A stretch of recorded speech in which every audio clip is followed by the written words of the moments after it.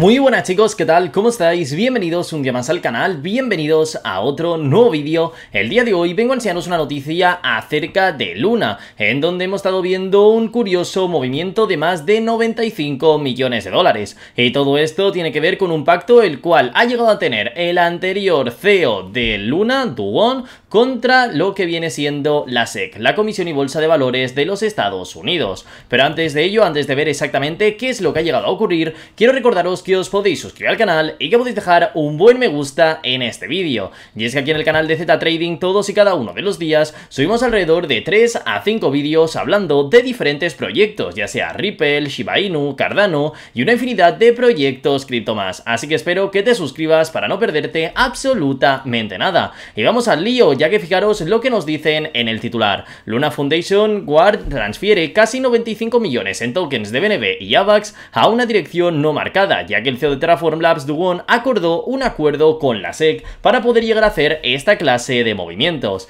En un desarrollo sorprendente, una dirección de la blockchain vinculada a Luna, la compañía detrás del ecosistema de Terra movió cantidades sustanciales en criptomonedas el día de hoy. Parece mentira que empresas que teóricamente están quebradas, que han acabado teniendo una gran pérdida de capital y demás, lleguen a mover 95 millones de dólares como el que coge dinero para comprarse una bolsa de pipas. La verdad que me sorprende y podemos llegar a ver el gran poder que se mueve dentro del mundo criptográfico. Como veis nos cuentan lo siguiente.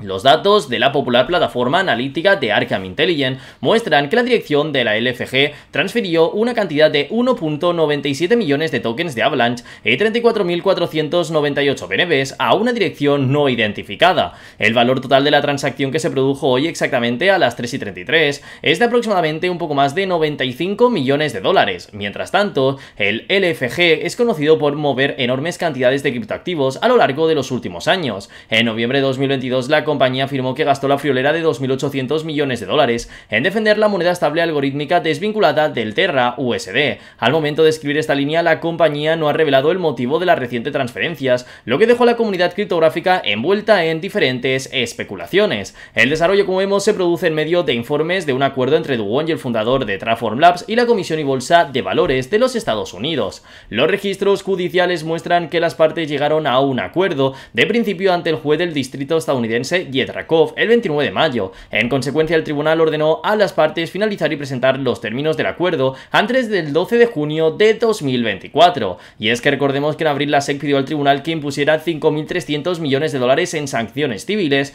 devolución e intereses previos al juicio contra Won de Terraform Labs. Imaginaros si aquí ya en el canal estamos alucinando con las multas multimillonarias que están poniendo a la SEC con la de casi 2.000 millones de dólares, en este caso fijaros que le va a imponer una multa de 5.300 millones. Sin embargo, como vemos, los demandados propusieron una multa significativamente menor, de tan solo un millón de dólares, ya que instaron al tribunal a desestimar la solicitud de devolución de la SEC, ya que realmente intentan decirnos que no han tenido ningún tipo de problema, que no ha sido su culpa y mil historias más.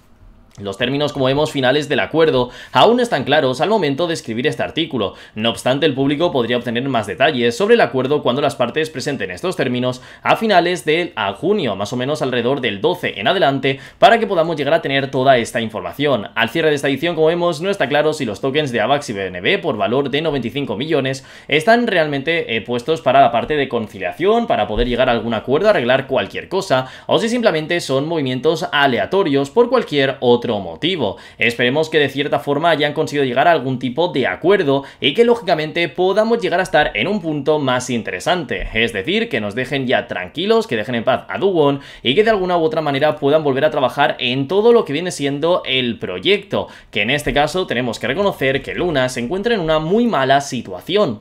Desde que llegó a ocurrir todo el gran declive, la gran explosión y todo lo que tuvimos, hemos estado viendo cómo la criptomoneda lo único que ha estado haciendo desde entonces ha sido ir cayendo de precio. Si bien tenemos un 43% en el último año desde que llegó a ocurrir todo aquello, la caída de la criptomoneda ha sido bastante interesante y esto lógicamente a ninguno de los holders le ha llegado a gustar. Y mi pregunta hacia vosotros es ¿qué opináis al respecto de todo ello? ¿Creéis que al fin y al cabo conseguirán llegar a algún tipo de acuerdo y que gracias a todo esto el proyecto podrá avanzar? O creéis que esto ya no tiene ningún tipo de solución.